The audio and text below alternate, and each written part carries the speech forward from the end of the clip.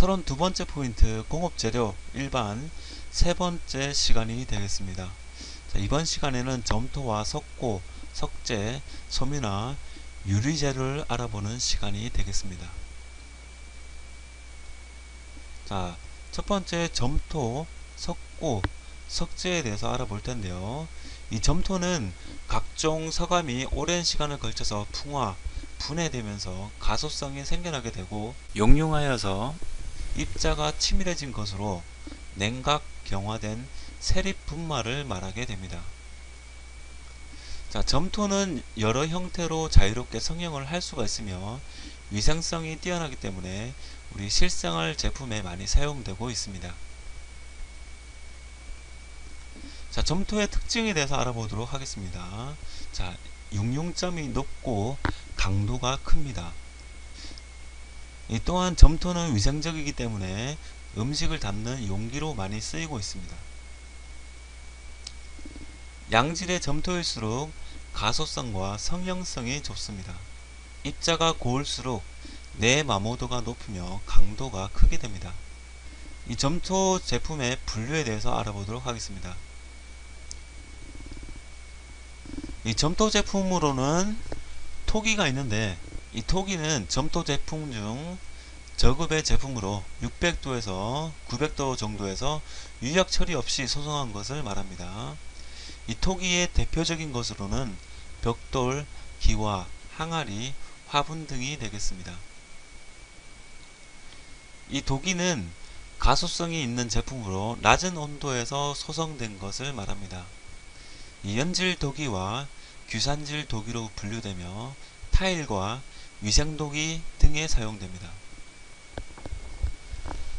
이 석기는 자기보다 점력이 우수하여 가소성과 성형이 자유로우며 단단한 제품으로서 1250도에서 1300도씨까지 소성한 것을 말합니다.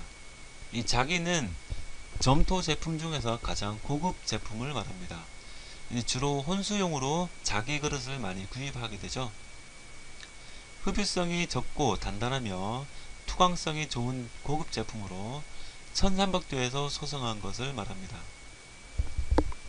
이 자기는 전기의 부도체이며 이화학용품 및 전자기, 건축용, 장식용, 식탁용으로 사용하게 됩니다. 이 자기의 제조 공정으로는 원토 처리, 조합, 혼합, 성형, 건조, 유약 처리, 소성, 선별 및 장식이 되겠습니다. 이 제조 공정에 대해서 조금 더 세부적으로 설명을 드리자면은 원토는 풍화, 분치, 침전을 통해서 점토의 재질을 향상시키는 작업을 말합니다. 이 조합은 재료를 배합한 후에 조립하는 과정이 되겠습니다.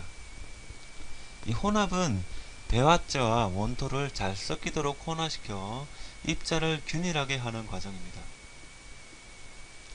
성형은 일정한 모양으로 만드는 것을 말합니다. 건조는 성형을 마친 뒤 수분 6% 이하로 조정하는 과정을 말합니다. 유약 처리는 유리질에 물질을 입히는 작업이고요. 소승은 육륜되는 온도까지 열을 가한 뒤 서서히 냉각시키는 과정입니다. 자 다음은 석고에 대해서 알아보겠습니다. 이 석고는 황산 칼슘을 주성분화하는 분말 상태의 재료로서 크게 소석고와 경석고로 나누게 됩니다. 이 석고의 특징은 응고가 빠르며 주로 인테리어 공사 시 미장 재료로 많이 쓰이고 점성이 가장 큽니다. 공기 중에 노출이 되면 굳어지고 상태가 약화되게 됩니다. 수축 균열이 생기지 않으며 영우를 사용할 필요가 없습니다. 이 석고는 소석고와 경석고로 분류할 수가 있습니다. 이 소석고는 경화 건조 시간이 2분에서 1시간 정도로 빠르게 되고 수경성이며 응고가 한번 시작되면 다시 반죽을 할 수 없게 됩니다. 이 더운 물을 사용하면 찬물보다 빨리 굳게 되고 식초를 섞어서 사용하게 되면 이 굳는 시간을 지연시킬 수가 있습니다. 이 백색도가 뛰어날수록 고급 제품에 속하고 경화 촉진 제로는 식염과 황산령을 사용합니다. 주로 이 소석고는 미술품이나 공예품, 안료, 마감재 등으로 사용이 됩니다. 이 경석고는 석고 원석을 300도씨 이상의 온도로 가열해서 얻은 무수 석고에다가 이 불순 석고나 규산, 점토 등을 섞어서 500도에서 1300도로 가열하게 되면 바로 이 경석고를 얻을 수가 있습니다. 이 경석고는 경화 건조 시간이 1시간에서 2주일 정도로 소속고보다 느리게 됩니다. 한번 응고가 시작되면 다시 반죽을 할 수 있어서 시공이 편리하게 됩니다. 일단 굳어지게 되면 이 소속고보다 경도가 매우 높습니다. 이 경석고에 물반죽을 한 것으로 경석고 플라스틱이 있습니다. 이 경석고 플라스틱은 한번 응결이 되면은 약간 수축이 되고 높은 경도를 요구하는 바닥재나 인조, 석조재 등에 많이 사용됩니다. 자 다음 석재의 특징에 대해서 알아보도록 하겠습니다. 이 석재는 내구성, 내수성, 내화학성이 풍부하며 마모가 적습니다. 양이 풍부하고 재료의 구입이 용이합니다. 이 연마를 하게 되면 재질감과 아름다운 무늬를 얻을 수가 있습니다. 이 비중이 크기 때문에 시공이 어렵고 인장 강도가 작아서 내화도가 낮습니다. 또 석재는 열 전도율이 작으므로 내부에 압력이 생기며 암석이 이루고 있는 강물의 종류에 따라서 열 평창 개수가 차이가 납니다. 이 석재는 크게 화성암, 수성암, 변성암으로 분류합니다. 자, 섬유와 유리에 대해서 알아보도록 하겠습니다. 이 섬유는 가는 실 모양의 유연성 물질로 직물의 원료가 될 뿐 아니라 편물, 로프, 그물, 펄프 등 섬유 제품의 원료와 제지의 원료로 쓰이는 것을 말합니다. 이 섬유는 가는 실 모양의 유연성 물질로 직물의 원료가 될 뿐 아니라 편물, 로프, 그물, 펄프 등 섬유 제품의 원료와 제지의 원료로 쓰이는 것을 말합니다. 섬유는 천연 섬유와 인조 섬유로 나눌 수가 있습니다. 이 천연 섬유에는 식물성 섬유, 동물성 섬유, 광물성 섬유가 있습니다. 이 식물성 섬유에는 주로 종자식물이나 줄기섬유, 잎섬유, 과실섬유, 잡기섬유에서 얻을 수가 있습니다. 식물성 섬유의 주성분은 목재의 셀룰로스를 사용합니다. 동물성 섬유는 모섬유, 견섬유로 양털이나 토끼 털과 같이 주로 동물에서 얻는 것을 말합니다.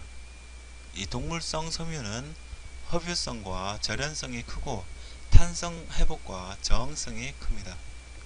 이 광물성 섬유는 성면에서 얻는 것을 말합니다.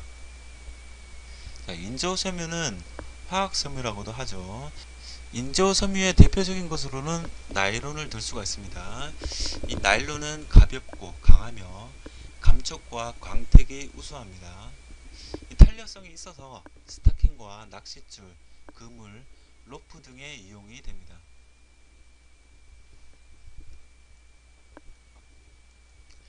이 유리는 유혹 제품의 한 가지로 규사를 포함한 여러 물질을 섞어 녹인 후 냉각시킨 투명한 물체를 말합니다. 이 유리의 특징은 대표적인 매짐성 재료로서 규사, 붕산, 인산, 산화나트륨, 석회, 산화납, 알루미나 등을 원료로 하여서 제조하는 것으로 대표적인 불연제로 불에 타지 않습니다. 이 내구성이 크고 반영구적입니다. 광선의 투과율이 높고 건축 등의 채광 재료로 사용되게 됩니다. 두께가 얇기 때문에 차음, 단열 효과가 약하게 됩니다. 충격에 쉽게 깨지게 되므로 취급 시 주의해야 합니다. 자, 유리의 제조 과정으로는 원료조합, 용융, 청정, 성형, 선행, 인쇄 및 소부, 검사의 과정을 거치게 됩니다. 유리의 성형법으로는 blow machine, 수취법, 평판법, 롤러법 등이 있습니다. 이 blow machine은 용기 생산에 주로 사용되며 동시 생산이 가능하고 생산 효율이 우수합니다. 이 수취법은 입으로 불어서 늘리는 방법으로 큰 용량의 용기나 공예 용품에 사용되게 됩니다. 이 영화 홀리데이를 보면 감옥의 재소자들이 하게 되는 일이 바로 유리 성형인데 이 수취법으로 유리 성형을 하는 것을 이 관심 있는 분들이라면 기억하실지 모르겠습니다. 이 평판법은 평판 유리를 제조할 때 사용됩니다. 이 롤러법은 롤러를 통해 원하는 형태의 조각을 성형할 수가 있습니다.